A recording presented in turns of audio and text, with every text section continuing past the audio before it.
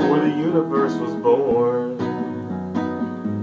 There was something in the chaos of the heavens that stands alone and empty, solitary and unchanging.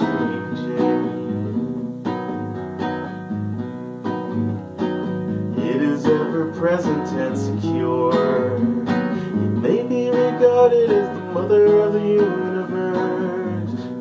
I do not know its name. I call it the Tao.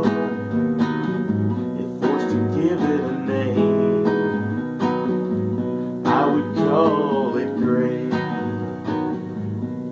Because it is great means it is everywhere. Being everywhere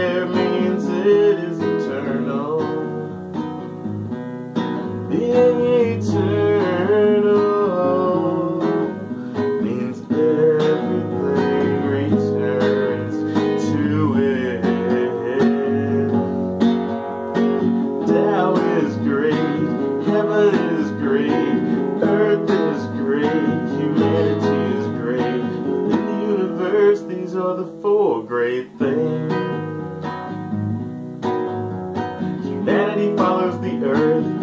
Follows heaven, heaven follows the Tao, the Tao follows only itself.